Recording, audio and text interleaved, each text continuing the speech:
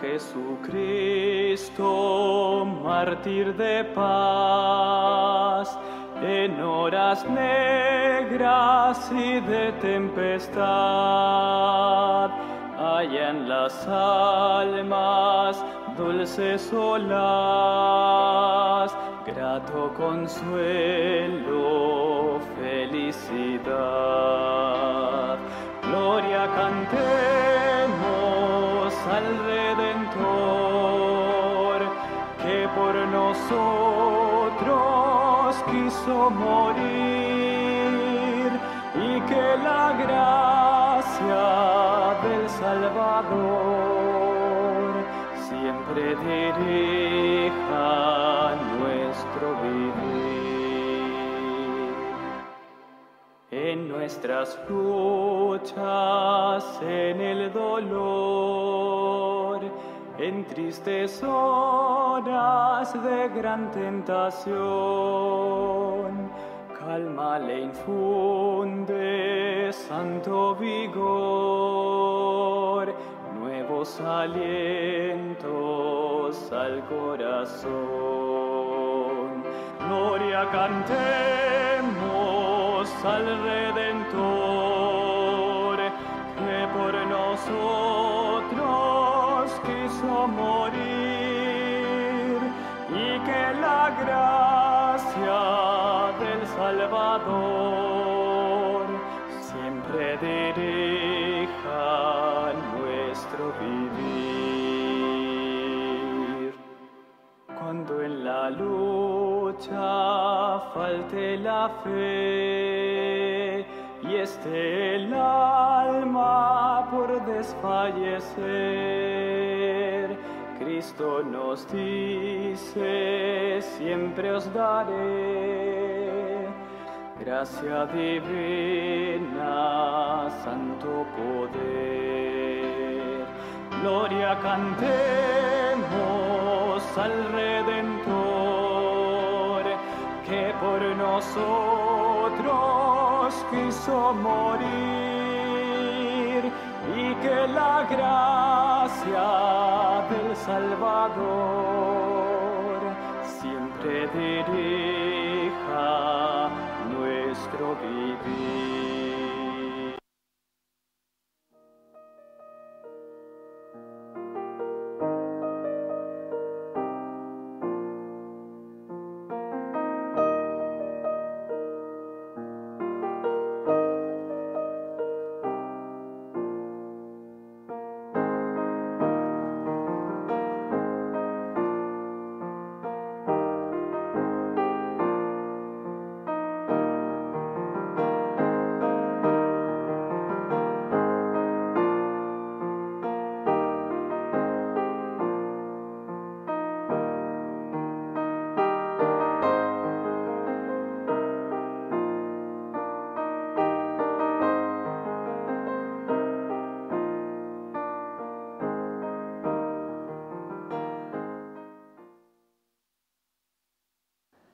Muy buenos días, queridos amigos, queridos hermanos.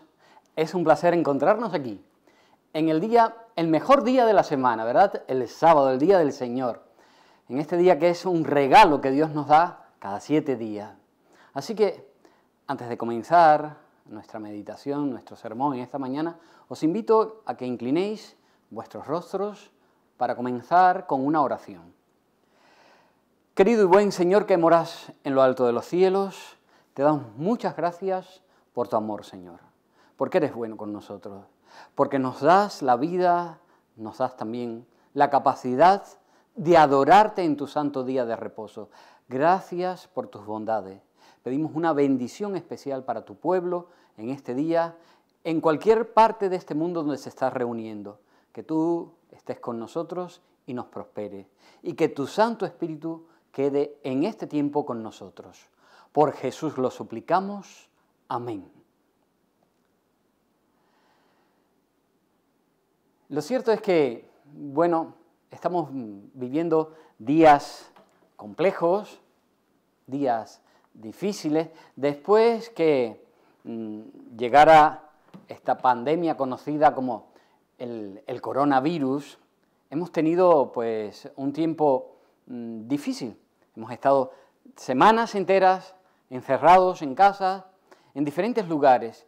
Y los pastores pues hemos tenido que hacer muchas cosas en este tiempo. No, no se podía hacer eh, visitas, mm, pero sí eh, por teléfono, a través de llamadas, a través de Zoom, a través de los medios que hoy disponemos, pues se han tenido que volcar en los diferentes lugares para atender a las iglesias. Así que eh, en casi todas las iglesias, no solamente aquí eh, en nuestro territorio, sino en otros países también, pues los pastores han, estado enviando mucho material. A tal punto, bueno, que me comentaban algunos amigos que en algún momento determinado estaban casi sobresaturados de tanto material, porque era que si por la mañana había la matutina, al mediodía otra, después por la tarde, pues eh, una meditación, después el culto vespertino por la noche, ya una meditación y después ya un sermón. Y semanas de oración y semanas de reavivamiento y casi en todas, pues el tema giraba en lo mismo, ¿verdad? En eh, lo que se estaba viviendo en los tiempos finales en que estamos en la segunda venida de Jesús, en las señales de la venida de Jesús. Así que constantemente eso, claro, eso fue creando, generando un, estado de incertidumbre, de, desasosiego en las personas, de situación así, que, iba incluso en algunos momentos eh, llegaron a perder hasta la, la, paz mental, porque, claro, predicando de que el Señor venía eh, y el Señor eh, después una semana, otra semana, otra semana, el Señor no viene, así que creamos inconscientemente o conscientemente, inconscientemente más que otra cosa, en algunas personas angustia. Os pedimos perdón si en algún momento se generó esta situación. Lo cierto es que mm, no, no está mal que se predique de la venida de Jesús. Yo recuerdo cuando era pequeño, cuando era un adolescente, bueno, como he crecido en la iglesia, cuando era un adolescente como de, no sé, 12, 13 años, pues se hablaba tanto de la venida de Jesús, se predicaba tan, tan continuamente de esto, que yo en mi mente eh, juvenil, adolescente, pensaba, pues el Señor viene antes de que yo cumpla los 17 años. Pensaba, porque claro, era continuamente hablando de la venida del Señor, de la venida del Señor. Recuerdo incluso unos amigos, unos eh, chicos con los que me crié en la iglesia, dos amigos que en un momento determinado se fueron una semana a estar en casa de, eh, una familia en el campo y, era continuamente no solamente el tema de la venida, sino eh, tenían como, como libro de lectura para hacer el culto vespertino preparación para la crisis final. Así que aquellos adolescentes también como yo, de, de 13, 12, 14 años, todas las noches escuchando esas lecturas, pues llegaron un momento en que ah, estaban ya casi hasta asustados. Así que eh, lo que pasa es que realmente hoy en día a veces se predica muy poco de la venida del Señor, se predica de muchas cosas, pero de la venida del Señor poco. Y tal vez este tiempo en que se ha explorado más esta predicación, hablar de la venida del Señor, de las plagas, de las situaciones que se vivirán antes, pues ha generado en alguno la pérdida pero no creo que sea por la predicación. Creo que la pérdida de la paz mental ha sido más por la situación que ha generado el coronavirus, el COVID-19. Eh, la incertidumbre que las personas han, han tenido que vivir en estos días. Así que con todo eso que se está viviendo, la paz mental puede resistirse. Eh, y, y en muchas personas ha tenido este efecto.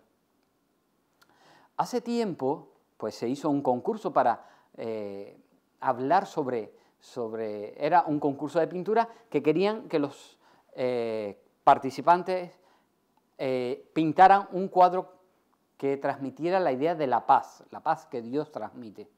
Y bueno, uno de los participantes hizo un cuadro que era pues una tormenta y en medio de la tormenta, pues una vecilla allí tranquila, que, como si no pasara nada. Yo el cuadro no lo he podido encontrar y me ha pasado igual que a un pintor del siglo pasado, un pintor americano, este pintor que, tenéis el cuadro ahí, eh, Jack Dawson, este hombre pintó un cuadro un poco haciendo referencia a esa historia, a esa anécdota que él había escuchado, que no había podido encontrar tampoco eh, la pintura original, y él pues hizo este cuadro donde veis, si os dais cuenta, es un acantilado, hay una tormenta tremenda y está pues incluso eh, por los barrancos corre el agua eh, atronadoramente, casi puedes escuchar, ¿verdad?, el, ruido de, todos los elementos esos desencadenados, hay hasta, hasta una tormenta eléctrica, todo está en confusión y en medio de, toda esa tormenta hay una pequeña oquedad, una pequeña, un recoveco allí en, en la roca donde hay un ave eh, que está además sobre sus pichones, sobre sus polluelos, está cubriéndolos tan tranquilo. En el cuadro no se ve muy bien, quizás en esta otra imagen eh, que se acerca un poquito más, veis allí todo está rugiendo, los elementos rugiendo por alrededor, y en el medio esa, esa ave que está, está protegiendo a sus polluelos. Así que pasa en medio de la tormenta todo lo que está pasando y aquellos están tranquilos como si como si no sucediera nada, como si nada malo estuviera ocurriendo alrededor. Y es cierto, queridos hermanos, no hay nada que temer cuando estamos al lado del Señor, cuando Él nos cubre con su manto de paz. La tormenta puede rugir, las cosas pueden ir de mal en peor, pero a pesar de todo, podemos sentir la paz de Dios, podemos disfrutar de ella, gozar de la paz de Dios. Hace algún tiempo hubo un, terremoto aquí cerca, en, Italia, eh, me parece que era en la región de, del Áquila, y en un momento determinado, pues eh, la gente corría despavorida por, por esa situación, y una señora muy mayor, ya tan tranquila allí en medio de, de todo el caos que se producía, se estaba produciendo, y en un momento determinado, ya cuando pasó, pero usted no se, le preguntaron, usted no, no se dio cuenta de lo que estaba pasando. Y la mujer dijo, tan tranquila, bueno, es que si yo tengo un Dios tan grande que puede mover eh, el mundo, la ciudad, pues también ese Dios tan grande me puede proteger. Y en cierta medida tenía razón, no en toda, porque aquí eh, teológicamente hay un, un problema en el inicio de su planteamiento porque no es Dios quien nos manda, nos envía los, los terremotos o las cosas malas. No es Dios quien ha enviado este virus, el coronavirus, porque eso sería terrible. Sería ponerle a Dios las características del enemigo, lo que crea el enemigo, lo que maquina el enemigo, pues mm, ponérselo como que es responsabilidad de Dios. No. Pero sí hay algo que en la respuesta de esta señora sí es real. Sí tenemos un Dios tremendamente poderoso que puede no solamente eh, sostener el mundo, protegerlo, sino guardarnos, cubrirnos. Cuando tenemos las dificultades más grandes o las situaciones más terribles, un terremoto o lo que sea, el Señor puede proteger a sus hijos. Podemos, por supuesto, contar con el Dios creador para ayudarnos en los momentos más difíciles de nuestra vida y devolvernos la paz cuando ésta queda rota por las circunstancias en las que estamos a veces, a veces, no siempre, envueltos, podemos vernos envueltos. Yo no sé, querido hermano, querido amigo que me escucha, no sé realmente la situación que hoy estás viviendo. Puede ser que estés padeciendo una situación terrible en tu hogar mismo, eh, por problemas familiares, por enfrentamientos, por situaciones que, te sobrepasan. Puede ser que tengas problemas, no sé, en el trabajo tal vez, eh, más en esta situación, donde muchas personas han perdido el empleo, eh, otras están en paro, situaciones difíciles.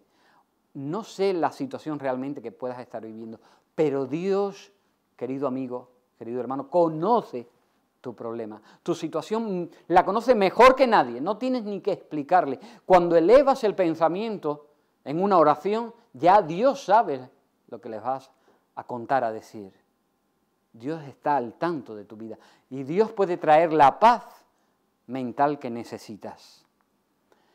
Eh, en este mismo año, a principio del año, en el mes de febrero, tuvimos la oportunidad de, de ir a este lugar que veis ahí en esa en esa fotografía, estuvimos en Israel.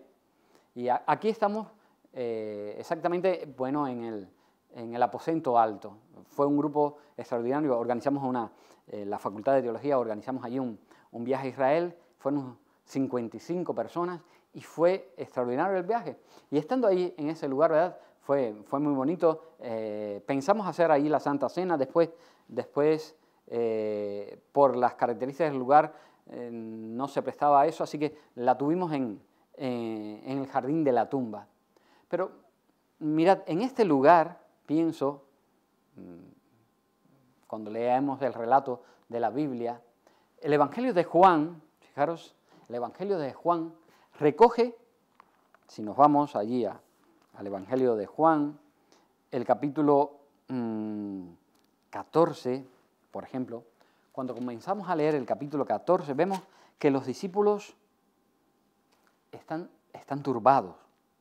Jesús tiene que decirle que no, no, se sigan turbando. Es verdad que, claro, eh, hay muchas situaciones ahí que Jesús les está explicando, les está diciendo, ¿verdad? Les ha dicho, incluso les ha hablado hasta de la negación de Pedro, así que aquellos doce discípulos están, están comprometidos, están en una situación difícil. Y es interesante porque el relato recoge unas palabras extraordinarias que dan título al tema. Juan 14, 27, podemos leer estas palabras. Dice, mi paz, dice allí, mi paz os dejo, mi paz os doy.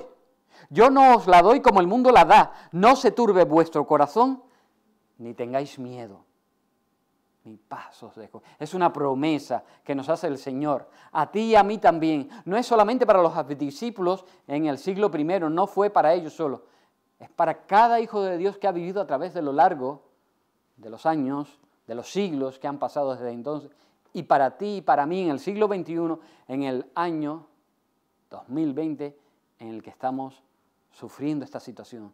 Mi paz, el Señor nos ofrece, nos ofrece su paz a pesar de esta situación de enfermedad que estamos viviendo, de esta pandemia terrible. La paz que Jesús da es más, más que la ausencia de guerra. Es una paz interior y permanente, la seguridad a pesar de eso, de guerras y problemas, aunque hayan situaciones que nos superen, podemos sentir esa paz en nuestros corazones.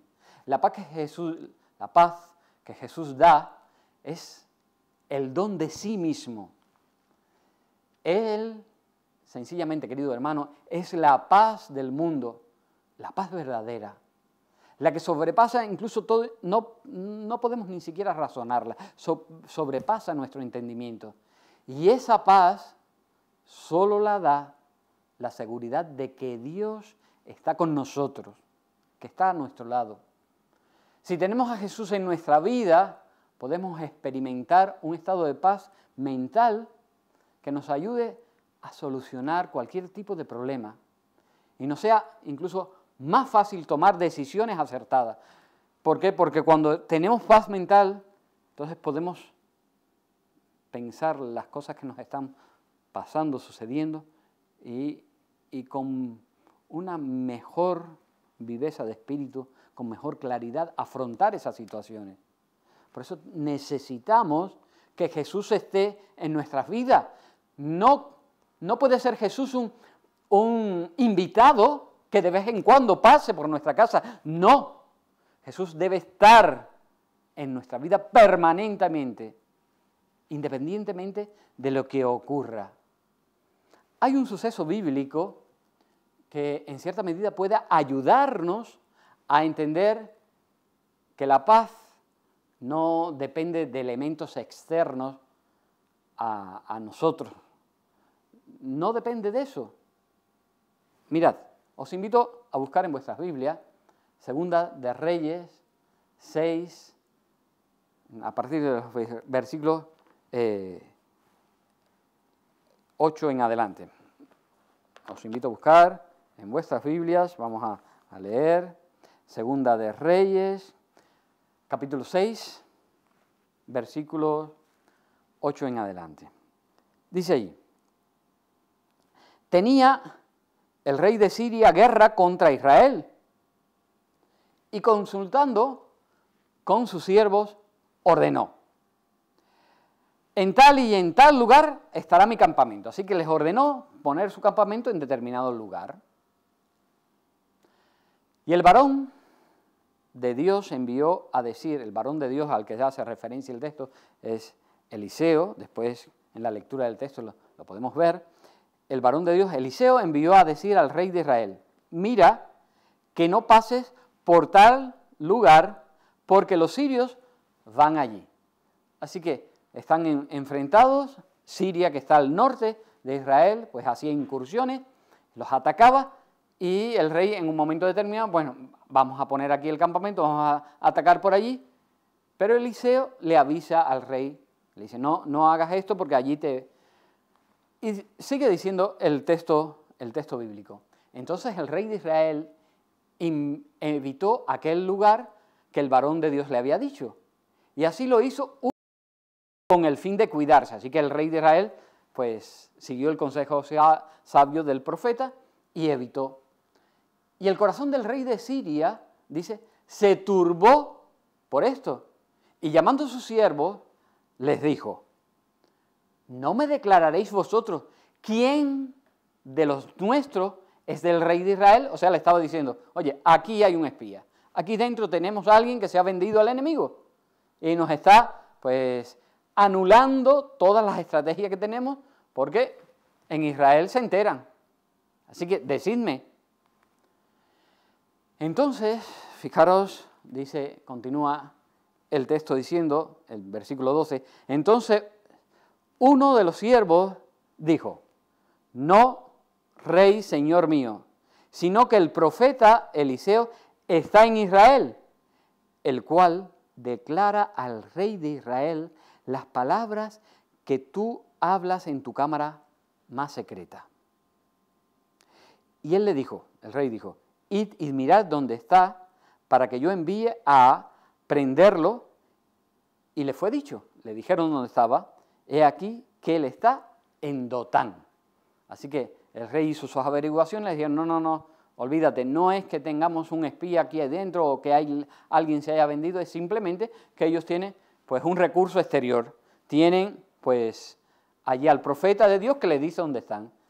Ah, pues a ver, averiguarme dónde está, que vamos a ir contra él. Y eso hicieron. El profeta estaba en Dotán. Si veis en, este mapa que tenéis ahí en pantalla, pues Dotán está a esa altura, eh, mm, digamos, eh, por debajo del mar de Galilea, antes, mucho antes del mar muerto, a unos 75 kilómetros más o menos de la frontera con Siria. Como los sirios hacían incursiones por aquí y por allá, pues el profeta estaba ahí, le dijeron dónde estaba, y bueno, allí el rey envió a a buscar al profeta, a, a los ejércitos contra él. Y vamos a seguir leyendo, dice el texto, entonces envió el rey allá gente de a caballo y carros y un gran ejército, los cuales vinieron de noche. Así que vinieron para que no se dieran cuenta de noche, para sorprenderlos. Y sitiaron la ciudad y se levantó de mañana y salió el que servía al varón de Dios, el sirviente que tenía ahí Eliseo, se levantó y he aquí el ejército que te, tenía sitiada la ciudad con gente de a caballos y carros. Así que por la mañana cuando se levanta, el sirviente de, Eliseo ¡ah! Se queda pues asombrado. Están rodeados, los enemigos los están rodeando. Dice el texto, fijaros, dice, fue corriendo allí donde estaba Eliseo. ¡Ay! Entonces el criado le dijo, ¡ay! ¡Ah, Señor mío! ¿Qué haremos? ¿Qué haremos? Y es extraordinario. Porque fijaros cómo responde el profeta. Y él le dijo, no tengas miedo. ¿Cómo que no tengas miedo? No, no tengas miedo. Porque más son los que están con nosotros que los que están con ellos. Y el profeta, Eliseo, oró y dijo, te ruego, oh Eterno, que abra sus ojos para que vea. Y mirad lo que sucede.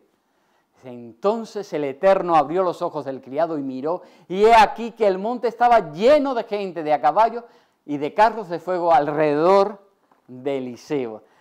Tremendo, ¿verdad? Así que los ejércitos de los ejércitos del rey sirios estaban rodeándolos, pero cuando el profeta oró, permitió Dios que los ojos de sus siervos fueran, de sus sirvientes fueran abiertos y pudo ver que eran más los ejércitos del cielo que los que podía tener el rey de Siria. Precioso, ¿verdad? Precioso ese episodio que nos cuenta la Biblia. Pero querido amigo, querido hermano, todavía es más precioso tener la certeza que de la misma manera más son los que están con nosotros, más son los que nos protegen. El Dios del universo tiene el poder de estar con nosotros para guardarnos del mal. En este tiempo en que nuestra paz mental se ve turbada, el Señor también nos puede, si confiamos en Él, guardar, guardar del mal. La paz de Cristo elimina, querido amigo, todo temor. Pone, es como un arco iris de esperanza sobre nuestras cabezas y reemplaza nuestras necesidades por un futuro colmado de promesas, con la seguridad de la presencia del Todopoderoso. Él está aquí en nuestra vida, en nuestra situación, en tu trabajo, en tu centro de estudio, en tu vecindario, allí donde estás, en tu casa, está el Señor Todopoderoso para protegerte. No lo olvides, no lo pases por alto. La paz de Cristo, nada en el mundo puede generarla. Fijaros, ni el desarrollo tecnológico, ni los fármacos, no se puede comprar con riquezas. Los políticos no pueden lograrla de ninguna manera, por mucho que hagan. La educación no puede crearla. La psicología incluso no puede infundirla. La fama no puede asegurarla. La paz de Cristo es única. Lo dice, ¿verdad? Mi paso os dejo, mi paso doy, no como el mundo la da. No es la paz simplemente que da el mundo, que es pasajera y que es ilusoria incluso a muchas veces. Esa paz que da Jesús no es algo que Él oferte, que Él ofrezca y que sea ajeno a su persona. Está en Cristo mismo y no podemos recibirla si no le recibimos a Él.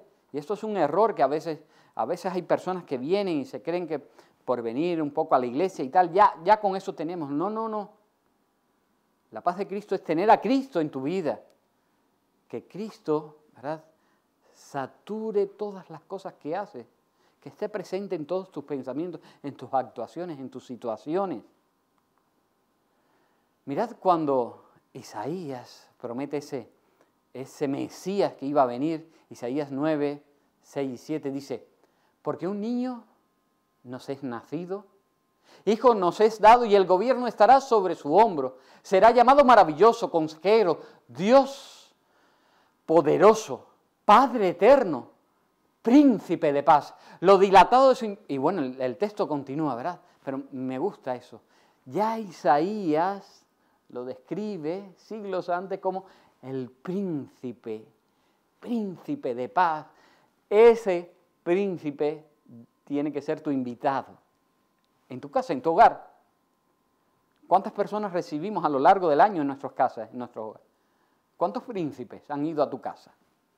Bueno, Jesús, puedes tener la certeza que cuando lo tienes a Él es un príncipe, el príncipe de paz está contigo. Eh, este edificio que veis en la diapositiva, mm, seguramente muchos lo, reconocéis, incluso muchos habéis, lo, habéis visto, habéis visitado Nueva York y, es la sede mm, de la ONU allí en la Organización de las Naciones Unidas.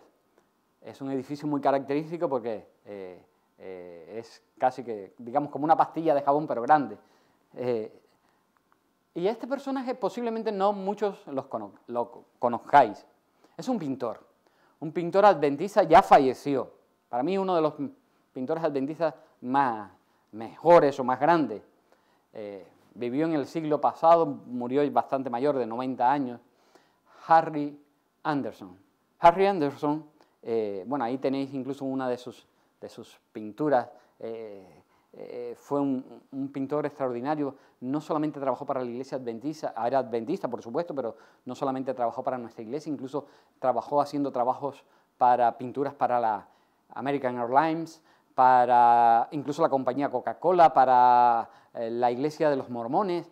Así que, pero sobre todo con nuestra iglesia hizo mm, cuadros extraordinarios. Mirad qué cuadro tan bonito pintó este hombre. ¿Recordáis el edificio de las Naciones Unidas? Pues allí Cristo tocando la puerta de las Naciones Unidas. Y él lo tituló así, ¿ah? El príncipe de paz. Recogiendo esa idea que transmite la Biblia. Jesús es el príncipe de paz, el príncipe que trae paz a tu vida, a tu mente, a tu, a tu hogar, a tu iglesia, a tu centro de trabajo, incluso al sitio donde está. Debería Jesús ser el príncipe de paz. Es extraordinario, ¿verdad? Las Naciones Unidas donde se reúnen allí pues los cerebros más importantes dirigentes de los, países de este mundo para tratar cuestiones de paz. Pero si no dejan entrar a Jesús, no digo que, que, todos los que están ahí no crean en Dios o no acepten a Dios, pero ¿en cuántas de esas discusiones van a la Biblia a buscar solución? ¿Verdad?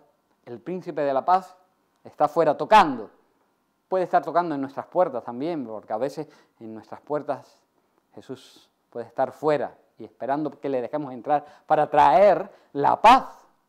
Mirad, Lucas, Lucas también recoge, recoge un versículo, Lucas capítulo 24, versículo 36. Bueno, recoge ahí, se recoge en Lucas eh, un, episodio también muy, muy interesante los discípulos están, están reunidos, mientras ellos estaban reunidos, mirad lo que dice el texto, mientras ellos aún hablaban de estas cosas, Jesús había muerto, ¿recordáis? Y ellos no le habían visto. Así que mientras estaban ellos reunidos hablando de esto, Jesús se puso en medio de ellos y mirad lo que les dijo. Interesante. Las primeras palabras después en ese reencuentro, después de su muerte y de su resurrección paz a vosotros. Esa necesidad de paz, ¿verdad? Que tenían antes, antes de que él muriera. Ahora volvían a tenerla después que él estaba muerto. Paz a vosotros. Y el deseado de toda la gente es extraordinario como se describe allí. Dice, en ocasión del nacimiento de Jesús, el ángel anunció paz en la tierra y buena voluntad para con los hombres. Y ahora en la primera aparición a sus discípulos después de su resurrección, el Salvador se dirigió a ellos con las bienaventuradas palabras, paz a vosotros. Qué bonito, qué precioso. Así que cuando fue a nacer los ángeles, lo primero que le presentaron allí a los pastores fue, ¿verdad? Paz, paz en la tierra. Y después de su resurrección fueron también esas palabras, paz, paz a vosotros. Dice, Jesús está siempre listo para impartir paz a las almas que están cargadas de dudas y temores. Espera que nosotros le abramos la puerta del corazón. Preciosísimo. Un pensamiento preciosísimo. Jesús está siempre listo para impartir paz a nosotros que estamos cargados de dudas y de temores. ¿Cuánto más en este tiempo, verdad? Como decía antes, no conozco la situación que estás viviendo. Tal vez estás atravesando la enfermedad de un familiar o, tú mismo puedes estar enfermo. Estás atravesando una crisis en tu hogar familiar, sea por un hijo, sea por un esposo, un esposo, el cónyuge, no lo sé. Sea en un centro de trabajo donde estás en una situación difícil, complicada, o en un centro de estudio, ahora aquí no, aquí estamos en la época de vacaciones, pero cuando empiecen las clases estarás también en un centro de estudio. A veces hay situaciones de moving, de, cosas difíciles en, los centros de trabajo y en otros lugares. Estás padeciendo, estás sufriendo por situaciones que te desbordan. Pues Jesús quiere traer paz a tu vida. Y quiere traer paz a tu vida porque como hijos de Dios, después de tener esa paz, Jesús nos llama también a ser nosotros parte de la solución para otras personas. Nos llama a pacificar. Esta iglesia que veis ahí es preciosa, ¿verdad? Parece que eh, hermosísima, nos gustaría tenerla, ¿verdad? Tenemos planes aquí en, la iglesia del puerto de tener eh, una nueva iglesia. Ya nos gustaría que todas nuestras iglesias fueran así, independientes, grandes, hermosas. Bueno, tenemos alguna que otra, ah, también edificios hermosos.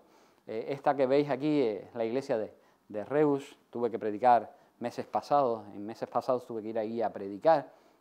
Una iglesia también hermosísima. Viniendo, cuando regresábamos de allí, de Reus, mi esposa y yo, eh, nos pasó algo en, la, carretera cuando veníamos, en, un área de servicio, nos detuvimos un momento y tal, y justo en el parking del área de servicio, pues allí dos coches se detuvieron, bajaron también, querían hacer también un, descanso un momento, pero sabéis, en un momento determinado hubo un enfrentamiento allí entre las personas que se conocían todos, eran amigos todos, habían ido a un evento y ahora se estaban, a punto estuvieron de pegarse, si no es que una persona que los conocía a todos, que viajaba en el grupo, intervino y no, esto no puede ser porque, pa, y empezó, wow, y en un momento aquellas posiciones enfrentadas, wow, aquel hombre fue capaz de hacer así y aliviar la tensión, frenar, rebajar los ánimos, enfriar la situación. Después tuve un momentito la oportunidad de, hablar con él un par de palabras para, mm, digamos, elogiarlo por lo que había hecho, por, su valentía y su capacidad de, conociendo a las personas, cómo pudo controlar la situación. Un cristiano. No, era adventista, cristiano. Y digo, este hombre. ¿Cómo debemos ser los cristianos? Debemos transmitir la paz. Primero tenemos que tener la paz, por supuesto, porque si no tenemos la paz, ¿cómo, cómo vamos a, a transmitirla? Mateo 5.9 dice, bienaventurados los pacificadores, porque ellos serán llamados hijos de Dios. ¿Sabes? Tú, tú deseas ser llamado hijo de Dios, pues tienes que ser un pacificador yo. Cada uno. No tenemos ahora la iglesia aquí llena, es triste por esta situación, pero cada uno que desde vuestro hogar me, me estáis viendo, está llamado a ser un pacificador, a ser un hijo de Dios. Para ser pacificadores, primero tenemos que experimentar la paz de Cristo en nuestra vida. No podemos dar lo que no tenemos, ¿verdad? Imposible, imposible. De una jarra donde hay limonada no puede salir, eh, yo qué sé, eh, eh, zumo de melocotón. Imposible. Pues eso mismo pasa con nuestras vidas. Si nosotros no estamos llenos de Jesús, ¿sabéis? De ninguna manera vamos a llamar a otros a, pacificar a otros. Al contrario, daremos problemas. Estaremos en un centro de trabajo y seremos gente que enfrente a la gente, a las personas entre ellos. Estaremos en un centro de estudio y seremos también, generaremos problemas. Donde quiera que estemos en el vecindario, generaremos problemas. Y en la iglesia, si la paz de Dios no está con nosotros, generaremos también problemas, enfrentamientos. Hay un ejemplo, y casi con esto ya estoy terminando, un ejemplo, un personaje bíblico que puede ayudarnos a entender que la paz no depende de lo externo a nosotros. Mirad, os invito a buscar en Génesis, Génesis capítulo 26, Génesis capítulo 26, versículo 19. Bueno, en el capítulo 26 un poco, si, si os vais un poquito más atrás, vemos que, que Isaac, pues, acampa allí eh, en el valle de, de Gerar y él habita allí. Hace unas semanas cuando predicaba hablábamos de, su hijo, de Jacob. Ahora es Isaac. A, digamos, a Isaac lo mencionamos en ese sermón así de tangencialmente. Pero mirad, así que en un momento determinado, dice allí el versículo el 18, dice que él empezó a abrir los, pozos que su padre Abraham había abierto en, otro momento, pero que los filisteos habían cegado. Así que empezó a abrir esos pozos cegados. Y dice el versículo 19, cuando los siervos de Isaac cavaron en el valle y hallaron allí un pozo de agua viva. Así que cavaron y hallaron agua viva, buena. Imaginaros, territorio no muy, eh, donde las aguas no son muy abundantes, cavan y encuentran un pozo de agua viva, buena, buen, buen agua. dice el versículo 20, mirad, dice, los pastores de Gerar, de Gerar, eh, riñeron con los pastores de Isaac, diciendo, el agua es nuestra. Por eso llamó el nombre del pozo Ezek, porque había altercado con él. Ese significa contención, o sea, enfrentamiento. Así que cavan un pozo, hayan agua, pero los pastores de, de la zona, no, no, no, esto nada, esto no es vuestro, fuera. Y sigue, sigue diciendo el pasaje, y abrieron otro pozo, y también riñeron sobre él, y llamó su nombre Signa, que significa enemistad. Así que el segundo pozo, abren uno, nada, hay enfrentamiento, aquellos dicen, no, no, nada, fuera, este territorio no es vuestro. Isaac mandó a su siervo, venga, vamos a, abrir otro, dejemos esto, abren un segundo pozo y nada. Y fijaros lo que hace Isaac. Dice el versículo 22. Y se apartó de allí y abrió otro pozo. Y no riñeron sobre él y llamó su nombre Rehobot. Perdonad. Y dijo, ahora el Señor nos ha prosperado y fructificaremos en la tierra. Y esa palabrita, Rehobot, significa lugares amplios o espaciosos. Y es muy interesante este episodio, esta escena, ¿sabéis? Porque Isaac era un pacificador. Sus ayudantes, sus siervos abrieron esos pozos y, y como aquellas personas que estaban allí no aceptaron mm, que ellos habían encontrado agua, no, ahora esto es nuestro, tal, venga, dejamos, olvídate. Así que no le importó dejar de lado sus derechos por tratar de mantener la paz.